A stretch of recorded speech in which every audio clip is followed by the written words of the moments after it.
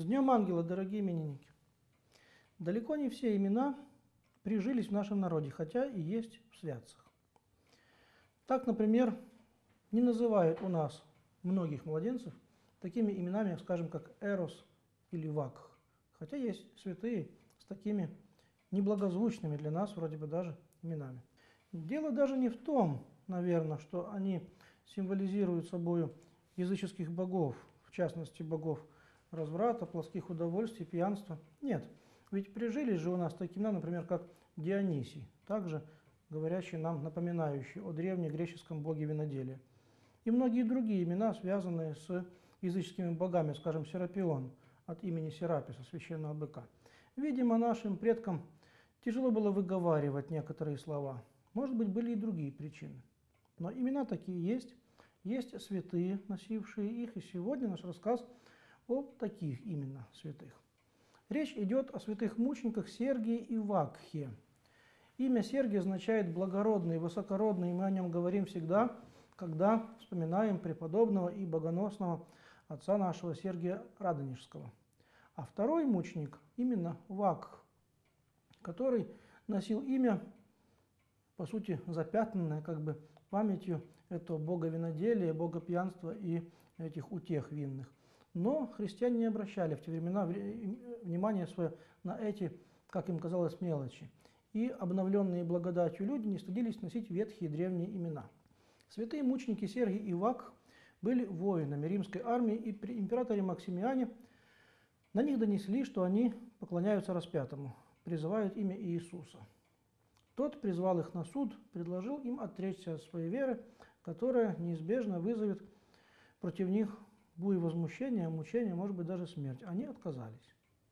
Максимян послал их к одному из соправителей Сирии по имени Антиох. Сей Антиох был лютый ненавистник христианства, однако он получил свою должность при помощи протекции Сергия и Вакха.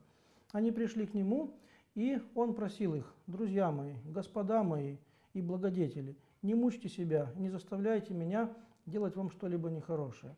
Отрекитесь от того, что вам приписывается, и мы будем в мире, обнимемся и будем друзьями. Святые мученики проявили твердость, за что были биты, а кроме прочего, им одели на шеи железные обручи и, снявши с них воинские доспехи в женской одежде, что было весьма позорно для воинов, особенно тогда, в тогдашних консервативных условиях общественных, вели их по городу э, под смешки, смешки и улюлюканье толпы. Ни физическое насилие, ни нравственные мучения не заставили Сергия и Вакха отказаться от своей веры.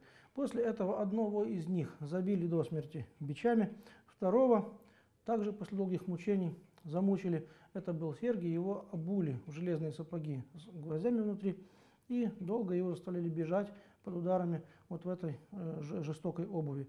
От мучений обои они скончались. Оба они были воинами, однако умерли не на войне и не от ран, полученных в схватках с неприятелем.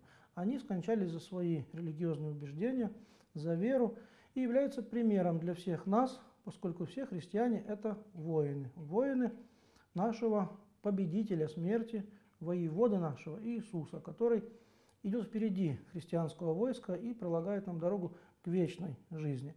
И поэтому каждому из нас, будучи воином Христовым, необходима известная доля мужества, терпения и прочих воинских качеств для того, чтобы прожить жизнь правильно.